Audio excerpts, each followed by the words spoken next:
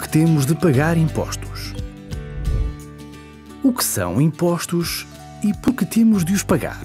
Os impostos são taxas exigidas pelo Estado a pessoas e empresas. O objetivo é fazer face a despesas públicas com saúde, educação, segurança, pensões e subsídios.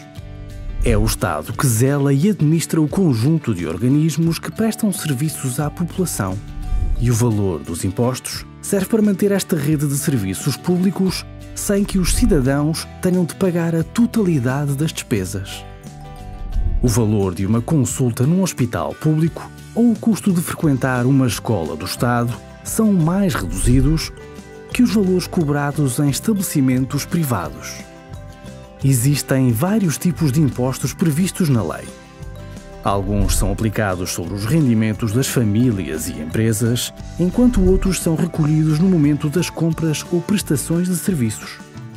Os salários dos teus pais são sujeitos ao IRS, as empresas pagam o IRC e em todas as compras que fazes pagas sempre IVA. Em Montepio, gerir o presente, planear o futuro. Descobre mais em ei.montepio.pt.